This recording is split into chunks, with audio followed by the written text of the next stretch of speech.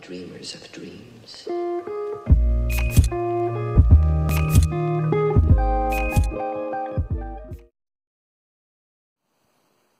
Hey guys, I'm Kamen Rider Silver, and today we're going to be taking a look at the NECA 2001 Godzilla action figure.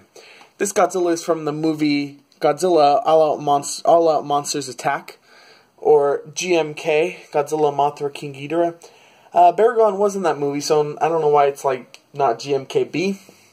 He got killed really quick, so I guess I don't really count him. But yes, I got this figure during Free Comic Book Day. Hope you guys went to Free Comic Book Day too. If you don't know what that is, it's every Saturday. It's the first Saturday of every May, and there's free sample comics. It's really awesome. And usually the stores at the time are having sales, and it's, it's a nice big nerdy gathering. This guy wasn't on sale, but he was really cheap there. He was only twenty three dollars, and I just saw him out of the corner of my eye, and I just was like, I got to get this figure. It's very awesome. So Let's just take a look at him. Taking a look at this head. Look at that. That is GMK as it gets.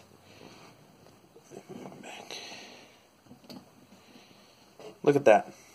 GMK is one of my favorite movies.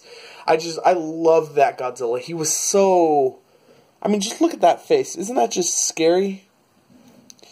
That's how he was in the movie. He was just he's he's not actually Godzilla in that movie. He's not like a dinosaur that got mutated. He's a he's like souls of soldiers of Japanese soldiers. That's why his eyes are white because he has no soul. He's just amazing. Look at that detail. Wow. Look at the mouth. That's just amazing. I know there have been complaints on this head sculpt saying it's not super accurate, but for me, I still think it's quite nice. I do have to say the bottom jaw, for some reason, is like a little pinky. It's kind of pinkish. You can see that. But it's it's it's perfect to me. Then coming down the rest of his body, you can see these nice spikes, the, the nice dorsal fins. I know NECA Godzilla figures are kind of knocked sometimes for having small dorsal fins, but no, these are nice. And they're, they're painted so oh, nicely. It's so, so cool. And then they go down his tail. His tail's not huge, but he gets the job done. Taking a look at the rest of the figure, he has a sort of. See if I can kind of pick that up. You can see kind of the greenish tinge to him.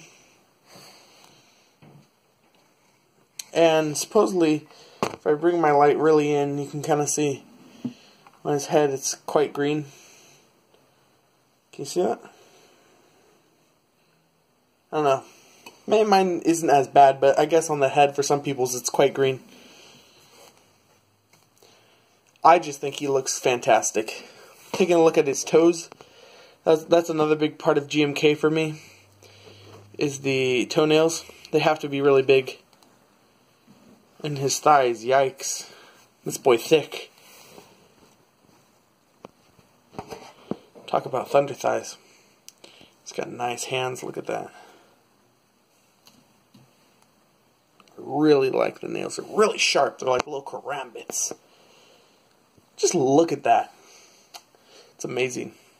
One thing I do have to say is he is a little hunched. A little bit of a hunchback. You know the Millennium Godzilla was too, so. His stature is a little weird. But he can put his head up. He's not as hunched. Still looks cool though. I really, really like him.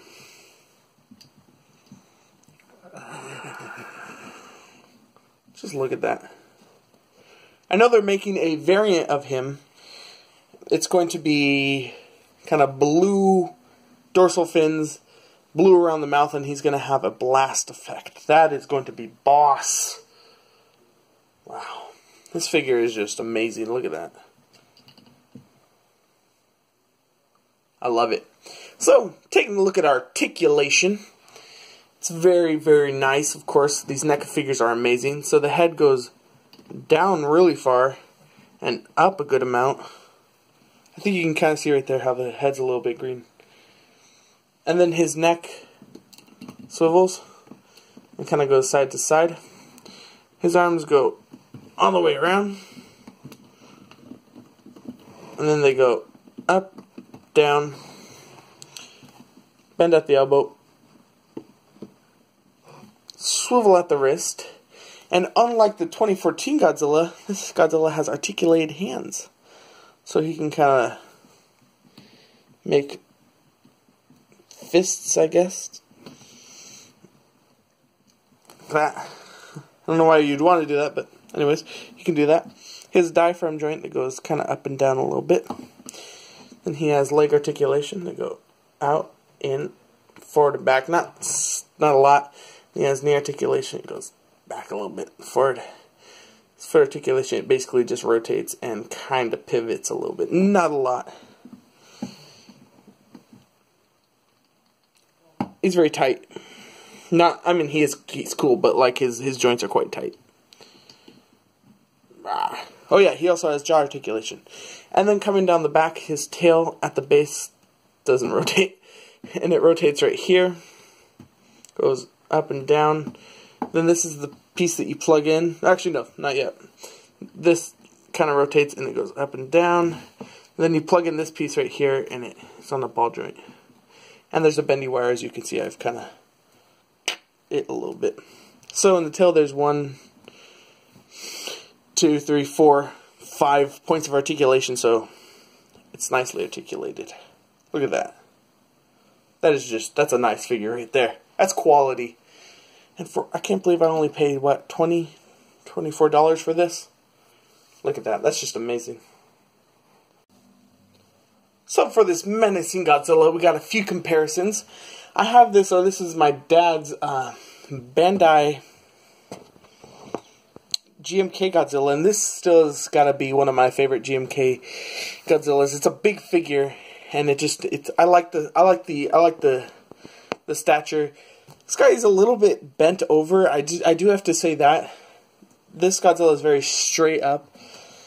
And I I just really like this Godzilla.